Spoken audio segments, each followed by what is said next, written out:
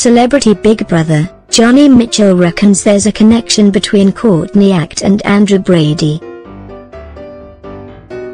Jonny Mitchell has fired up speculation of a potential fling between Andrew Brady and Courtney Act, after a one-on-one -on -one chat with the drag star. While everyone is gunning for romance between Ginuwine and Ashley James, it seems Jonny Mitchell is secretly trying to push flirtatious sparks between Andrew and Courtney. Speaking to Courtney in the next episode about Andrew, Jonny says, I'd reckon you'd break his walls down a bit, metaphorically not physically. You might get something that you know.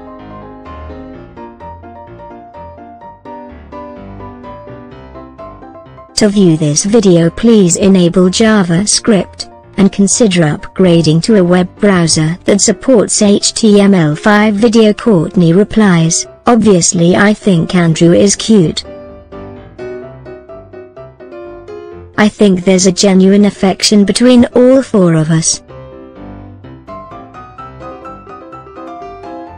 I didn't think I would appreciate the straight men of the house as much as I would. There's our laddish group.